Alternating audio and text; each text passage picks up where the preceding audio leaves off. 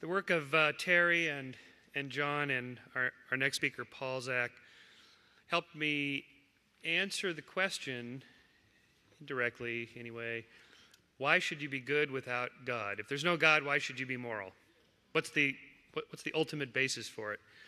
And in a way, the answer coming here is that because it's built into us, it's, it's hardwired into us, it's in, in our brain. We're rewarded for doing these kinds of good things. It's not, it's also, yes, because we have a social contract and all those political social reasons, but what we're getting at here is something much deeper, which then gets us to the problem of if there's no God, what's the absolute, you know, Archimedean point from which we can look down and determine good and good and uh, right, right and wrong, good and evil, and so on. What, isn't there some outside source? Well, in a way, evolution has given us that sort of sense of transcendency. And Paul Zak's uh, work I read because he not only does the brain stuff about uh, neurochemistry, oxytocin, and trust, but also looks at social and political conditions and how a country can structure its social system that would generate more trust or less trust, that kind of thing. Dr. Zak is at the center of neuroeconomics uh, at Claremont Graduate University, where uh, I, I, got my degree too, so fellow alum here, where he conducts research on the neurobiology of trust, the neural substrates of reward valuation, and the relationship of touch and trust, social cognition producing cooperation or conflict, decision making under uncertainty, the neural foundation of human capital, the effect of institutional design on economic development, and the link between economic systems, social systems, and trust. Dr. Paul Zak.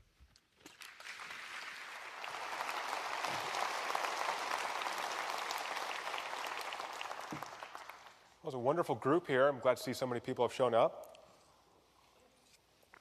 You probably brought, I don't know, a friend or a family member with you, but mostly you're sitting next to strangers. Make anybody uncomfortable? If it makes you uncomfortable, you can't raise your hand because then people would know. Okay. This is very, we had one hand. This is very unusual. That, that's right. If you look around, people don't look stressed out here uh, we seem very comfortable around many people with whom we're not acquainted. We're not closely genetically related to most of these people, yet we're not stressed. If I took a room full of rats and did the same thing, fur would fly, right? And blood. Okay, how do we do this? How do we figure out that it's okay to sit next to uh, Susan, but Michael, he's a sketchy guy. I don't want to sit too close to him. Something's going to happen. I don't know what it is. I got a bad feeling about it. Um, this is something we've been studying for a number of years. Uh, there's kind of two ways we can approach this problem. One is the sort of James Madison approach, which is, you know what, people are bad. I don't want to be too uh, uh, careful. I, mean, I want to be very careful.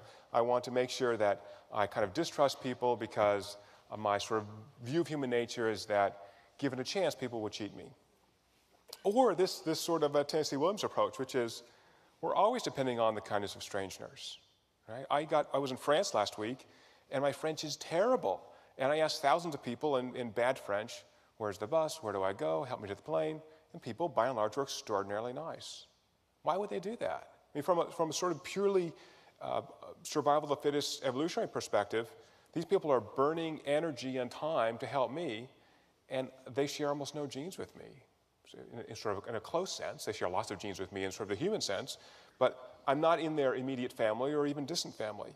Right? I'm probably not related to them closely at all. Why would you do such a thing? I think those two questions how we can sit next to strangers, and in fact, how we like to be with strangers. Many humans actually move to big cities and say it's enjoyable and exciting. It's electric to be in New York City. Right? We're not hermits. So if we look at cross country data, this is the proportion of people who said people in their country are very or mostly trustworthy. Look at the top left hand corner, you see Nor- Norway, Sweden, Denmark, the Netherlands, Canada, right? Almost two thirds of the people in Norway say people in my country are trustworthy. Okay, US is in the middle, around 45%. This is a mid 90s data. In the bottom right hand corner, you see 3% of Brazilians say people are trustworthy. Uh, up from that, Peru, Philippines, Turkey, Colombia, Venezuela. Okay, so if you drop your wallet in um, Lima or in Rio de Janeiro, it's not going to be returned. And if you drop your wallet in Oslo, chances are very high that someone will return that wallet. And again, if you think about what drives these uh, kinds of behaviors, uh, the, the, environment in which you're interacting in Lima versus Oslo is much different. Uh, so, uh, some work uh, published a couple years ago identified the kind of environments that promote high levels of trust or low levels of trust. And this includes the social environment, economic environment, legal environment, and political environments. And when we did this, we showed that uh, trust is among the most powerful factors economists have ever found to explain why countries are poor. Poor countries are, by and large, low trust countries. Why is that? Because the kinds of transactions that are necessary to generate increasing wealth or increasing standards of living occur over time.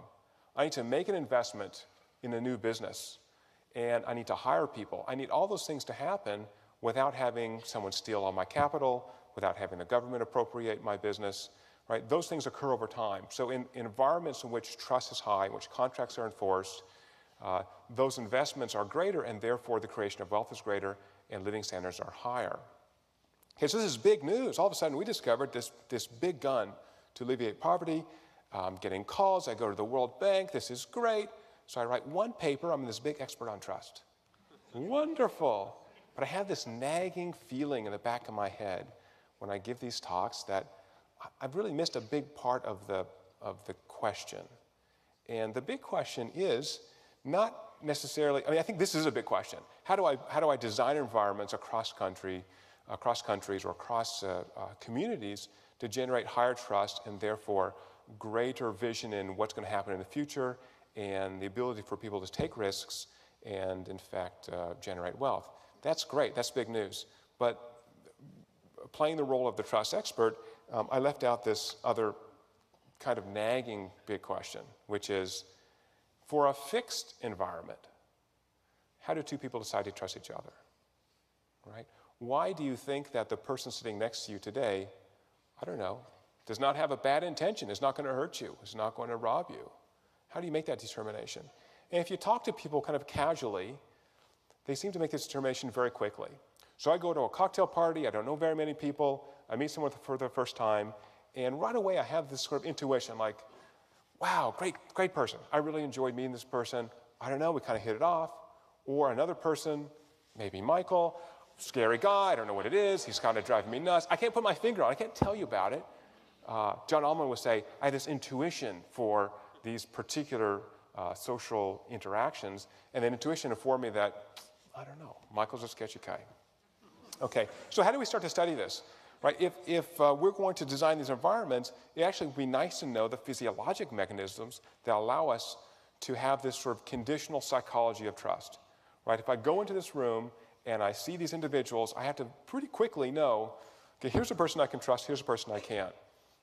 If I don't have that uh, quick and perhaps dirty, fast intuition on what's going to happen, potentially my survival is at stake. Okay, so and humans seem to do this much more than other uh, animals. Uh, so the first thing you want to do is put some kids in a laboratory and just have them make these decisions and ask them what happened.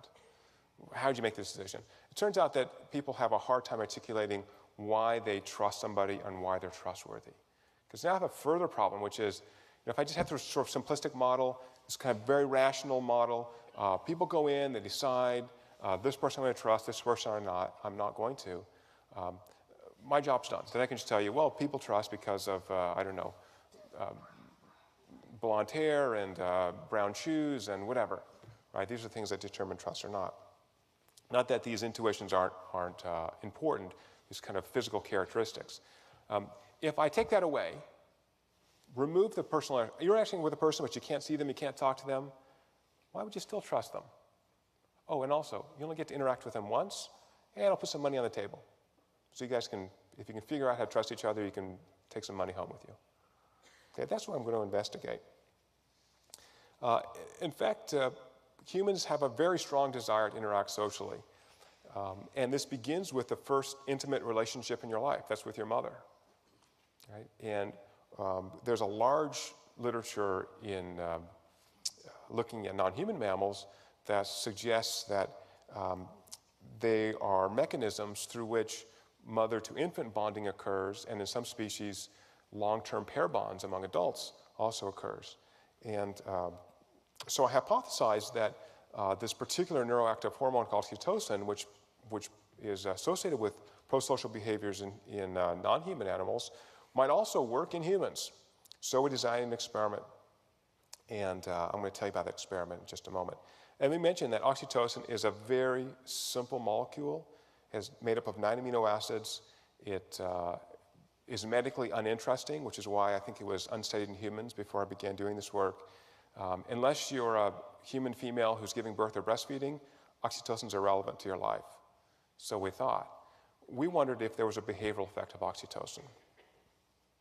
Uh, and lastly, I should say that, uh, very consistent with John's talk, uh, at, people are not kind of open to conscious awareness and how they make these determinations of who's, who they think will be trustworthy and who isn't. And we find masses of oxytocin receptors in humans um, in uh, old areas of the brain, phylogenetically old areas of the brain, particularly the amygdala and the hypothalamus. Uh, so if this is a story about oxytocin, and guess what it is, because I'm here, then this sort of explains why we do this intuitively, right? Um, this is not something that's uh, kind of higher cortical activity. I'm not doing a cost benefit analysis, I'm doing this very fast, um, emotional, intuitive determination of who I should be interacting with and who I shouldn't. Okay, so the first question is how can I measure trust in a laboratory setting? So, uh, some clever experimental economists um, out of Vernon Smith's lab uh, set up a, a, kind of interesting social dilemma, which I will present to you in a moment, uh, in which you can measure both trust and trustworthiness. And as I said, we put a little money on the table so that we invest these decisions with weight. I just ask you randomly, oh, do you trust people? Oh, sure, I do, of course. But now, if you can't communicate with someone and you've got cash sitting there, and um, you know, it might be a, for undergraduates a reasonably large amount of cash, uh, how might I do that? Okay, so the money here is important only to make the decisions uh, um, important to the individuals. Um, it's not, I think, inherently interesting itself. Okay, so here's a social dilemma. We rec- recruit a bunch of kids for this experiment. They all receive 10 bucks for showing up. Uh, they're instructing the experiment. There's no deception. And um, I'll show you the laboratory in a minute. And they can't talk to each other, but they're randomly assigned by computer to pairs. And they're instructed in this task, which is uh, you're randomly matched within your pair, uh, you're randomly determined to be either decision maker one or decision maker two. And decision maker one will be prompted by computer software um, to uh, see if he or she would like to send some portion of uh, his or her $10 show up fee to someone else they've been paired with in a lab. And the person, the other person they're paired with, the decision maker two, knows that whatever uh, is sent to them comes out of decision maker one's account and is tripled in decision maker two's account. So if I'm decision maker one and I said, well, I think I'll send, uh, I don't know, eight of my $10 show up fee, I keep two, and the person I paired with gets 24, plus the 10 they got for showing up, they have 34 bucks. Then at some point, decision maker two will be given the information about how much decision maker one was sent to them and will be prompted to send some amount back to them, but they don't have to. You only do it once, and there's no one looking over your shoulder. It's a so called double blind experiment. So your identity is masked from the other individuals as well as from the experimenters. I don't know what you're doing, no one else knows what you're doing. So just think about that for a second. You're in the lab, and I'll show you a picture. You have, a, you computer stations, you have partitions around you, you can't see anybody else. What do you do with your 10 bucks? So this has been run literally hundreds of times around the world, uh, by the way, also for much larger stakes. And the, the transfer from decision maker one to decision maker two is commonly viewed as a measure of trust. Right? If I take money out of my account and triple it in your account, I'm saying, hey, these Yahoo experimenters are going to make the pie a lot bigger. Let's go with this. Let's, let's try to you know, leave here with some cash. And you're expecting decision maker two to figure it out. Like, you know, I took money out of, I sacrificed to send you a bunch of cash. Now do what you're supposed to do, which is share it. Okay? The problem is, it's a one shot interaction. If, if decision maker two decides to keep everything, there's nothing you can do about it. So, what do people do? In general, most decision maker ones sent a fair amount of cash. The average is around $5, and decision maker twos tend to return about um, half of what they're sent. It's always better to be the decision maker two in this task. You make more money. Um, so in our experiments, decision maker ones, on average, uh, leave the lab with $14, and decision maker twos, on average, leave the lab with $17. So somehow, lacking communication, just sending this stress signal, they have uh, kind of induced a social obligation to play nice. Okay? Now the question is, what drives this? The sort of standard model in economics, as Professor Allman suggested, is I should never trust anybody. I should never leave money on the table. So the so-called Nash equilibrium, this is a, a, a, can be written down as a game, a strategic interaction. The Nash equilibrium is to send zero.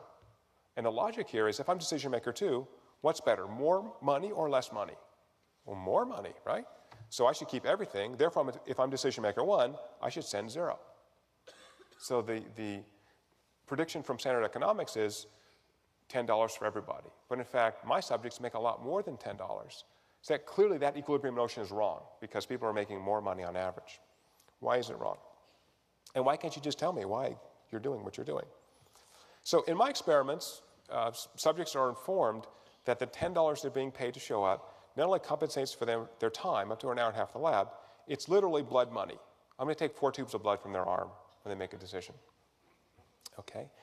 Again, one shot interaction, no deception. Uh, you can't communicate with other people. And uh, we time the sessions so all start in the early afternoon, which is the uh, trough of the diurnal variation of hormones. So the difference between the first subject and the last subject uh, is minimized. And we run two conditions the standard trust social dilemma that I just explained to you, and then a control condition uh, in which uh, I'm going to have the same transfer from DM1 to DM2 absent a social intention. And how do I do that? I'm going to use a very expensive piece of laboratory equipment, which I built at Walmart for $10. I took a plastic container and I covered it with duct tape, and I put in 11 ping pong balls numbered 0 to 10. And I had the DM1s publicly pull a ping pong ball out, and that amount of money was taken out of their account and tripled in their player two's account. And it was done publicly. I shake it up. It's noisy, so everybody knows that there was no, there was no intention uh, on uh, decision maker one's account. So the question here is, is this a social interaction, right? Uh, if it's social, if it's not just a money issue, if it's social, then it should activate, or we hypothesize this will activate the release of oxytocin. If it's just cash, then you're just, um, I don't know, you're responding to getting cash. So we're going to control for that. This is the lab we ran it, ran it at. This is at UCLA. It's a large lab. There are 67 stations. We run between 16 and 20 subjects, so no one is sat next to each other. Uh, they're spread out in the lab, and you can see there are partitions that are pulled out um, around each subject. So there's a, there's a large uh, degree and expectation of privacy. Okay, so you make your decision sequentially. I'll call it your, your uh, identity masking code. You make a decision, you type in the computer. When you're done, you raise your hand. We take you to a back room, and we draw four tubes of blood from your arm. Here's an actual subject and my collaborators uh, getting blood from a subject. Why? Because oxytocin uh, um, can be measured uh, peripherally in blood. It's not stable in other uh, bodily fluids. Uh, once they get that blood, it immediately goes on ice. We want to have the decision and the signal um, be as close in time as possible and not have it degrade. Oxytocin degrades fairly rapidly in, uh, at room temperature. Uh, once they're uh, put on ice and this, all the blood has been drawn from subjects, uh, we centrifuge these, we separate out blood, serum, and plasma, and these are put into uh, little microtubes and stored on dry ice and then transferred to a minus 70 centigrade freezer until they're ready for analysis. So the point here is we're trying to preserve the signal as much as possible. Uh, oxytocin levels uh, are basically zero in your body, again, absent giving birth or breastfeeding. Uh, so if, if, there's a, if there's a surge of oxytocin, we've got to get it and preserve it. And what do we find? Indeed, we find that uh, uh, individuals who received a signal of trust had a surge in oxytocin, roughly twice the oxytocin levels in their blood uh, as those who received the same average amount of money absent of social intention. Okay, so receiving this signal of trust, this monetary transfer denoting the social intention, provokes the release of oxytocin. And indeed, we find that uh, higher oxytocin levels are uh, statistically associated with greater trustworthiness. That is, a decision maker twos more, more likely return money to decision maker ones when they had higher oxytocin on board. With one exception, and I should mention that's my little daughter. Uh, we had a wonderful natural experiment right? This could be noise. And we measured 10 other hormones, lots of interactions. These are re- reproductive hormones. So oxytocin interacts with uh, estradiol and testosterone and cortisol. We, we measured all those things, and all the direct, all the effects we can find are through oxytocin. But there's this wonderful natural experiment, which is some women in our experiment were ovulating. And when is ovulation? Uh, how do we know it's ovulation? There's a spike in progesterone. By the way, progesterone also spikes during pregnancy. Because we had blood, we ruled out that any of our subjects were pregnant. They were not. So we had women who were ovulating, and progesterone is known to inhibit the uptake of oxytocin by its receptor. And guess what? These women had the same surge in oxytocin, but their behavior was different. They were less trustworthy. Okay. Why is that? Uh, one evolutionary story is that progesterone puts a brake on the uh, desire for, if you will, social intercourse, because if social intercourse leads to actual intercourse, uh, there's a high metabolic cost if you take that decision too lightly. Um, so we looked for that interrupter, in fact, we found it. So this suggests to us that this is a direct effect of oxytocin on behavior and not an indirect effect. Okay. And lastly, we see that when there's a trust signal, um, DM2s return 54% of what they're sent, and uh, when the uh, transfer of money is done through a ping pong ball draw, they only return 18%. So, very high correlation between what you're sent and what you return uh, when oxytocin uh, is high. Okay, we had a, here's actually a scatter plot of the data. So we see trustworthiness, that is the, the back transfer from DM2 to DM1, and oxytocin levels. And uh, you can see that there roughly is a, is a sort of strong positive relationship, except I have these five dots circled in red who uh, are a little bit special. They, they had this big oxytocin surge, but they didn't return very much money. So there's a technical term for these guys in the trade. They're called bastards. Right? So someone sacrificed nine, ten, eleven dollars, you know, nine, ten, eight dollars of their show-up fee, sent to these guys. They got tripled. They had thirty or forty dollars sitting around, and they chose to return zero or almost zero. Who are these guys? And what's the source of their behavior? Well, we had a very extensive social survey, so we asked some questions. And remember, these are all reproductive hormones. So uh, uh, nature is a very conservative system. It's going to hijack the same mechanisms uh, for many uses. And um, so we asked a lot of questions about uh, reproductive behaviors. What we find is that these uh, interesting, uh, nice folks are emotionally labile. They are much more active sexually than the rest of the group. Um, they believe it's okay to accumulate wealth while the others live in poverty. they believe others are trustworthy, and they themselves are very trustworthy. This was done before they actually did the experiment. Um, so what it looks like is that for most people, uh, the hormone, the surge in oxytocin, explains the, the uh, bulk of the variation in the data. But for people in the tailored distribution, it seems like personality traits matter more. And currently, we're looking into uh, these sort of personality traits by looking at a number of pathological populations. Um, so we don't have a full story on were these guys dropped on their heads, or they just had a bad genetic draw, or maybe they had a bad day. Um, come back in two years, I'll report to you. Uh, Lastly, this is all correlational data. So in a paper that uh, will appear next month in Nature, uh, we gave 128 men either synthetic oxytocin via an inhaler or uh, placebo blinded. And uh, what we want to do here is to demonstrate causation. I want to show that I actually can induce um, changes in your behavior by giving you this, the hormone. And it turned out we can.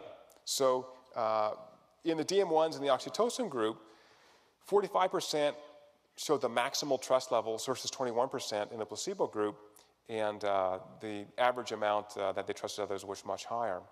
Um, and this graph shows some of the data for that. So it looks like I can, in fact, utilize this hormone to um, reduce your social fear of interacting with others and um, motivate you to take this risk. So uh, it doesn't seem that people on oxytocin uh, have better mood. It's uh, not that your belief, you have a belief that DM2s are going to return more money to you. Um, it seems to reduce the sort of uh, uh, anxiety we have with interacting with someone who we haven't seen before. So it does motivate kind of positive social behaviors. And it's interesting, as I said, the people who kind of followed uh, their uh, body and their brain's guide to trust and be trustworthy, in fact, made more money than uh, the people who played the Nash equilibrium. So um, I think in many senses, uh, if we just listen to our intuition, if we listen to uh, what our body's telling us to do, then we're reaching a socially desirable outcome, which is very interesting. Uh, and the implications of that, uh, as Michael suggested, are profound. So um, it doesn't happen all the time, and there certainly are bastards out there, but on average, most of the time, uh, when you trust someone, they're trustworthy. Uh, and lastly, I should say that when we give subjects uh, oxytocin uh, exogenously, we don't affect the behavior of DM2s. Why is that? If you already have, because most people are, uh, DM2s are getting a big surge of oxytocin anyway, because almost everybody trusts each other. So those receptors are mostly bound up. So if I exogenously increase your oxytocin levels, it has no behavioral or biologic effect because those receptors are bound. Okay, so the whole story seems to hold together. Okay, and lastly, we looked at distrust. So we thought, uh, if this is, if social behaviors of this sort are an important biologic system, um, most important systems have more than one driver. There's two, two sides of control. For example, think of hunger. We're getting late in the day now. Your stomach may be grumbling. It may be signaling to you that it's time to eat, uh, and um, that's controlled by uh, um, hormone called ghrelin, and there's another hormone called leptin that when you've eaten enough, tells you to stop feeding. Okay, that most of us listen to. Uh, so there's two sides of control because it's very important, feeding is a very important behavior. We think social behaviors are very important. Maybe there's two sides to this. Maybe there's this oxytocin side in which uh, we're motivated to um, be trustworthy uh, physiologically. Without, what about distrust? What about when we get the signal of distrust as a DM2? Um, in a study of uh, around 200 subjects, we found is that when men receive a signal of distrust, and distrust here is, I'm a DM2 and I was sent very little. So I don't know who this person is. I matched with someone randomly in the lab, but they just didn't trust me. They sent me $0 or $1. They blew it, right? They had this chance to, to walk away with a big chunk of money, and they just didn't do it. Uh, men had a, a, proportional rise in a hormone called dihydrotestosterone. DHT is sort of, I think I have a slide on this. What happened to that? Uh, DHT is uh, sort of high octane, the slide, this slide's missing. DHT is high octane testosterone. Testosterone is mostly protein bound, so it's inactive. DHT is a thing that causes, uh, the, the, hormone that causes virilization in men during puberty. It causes hair maturation.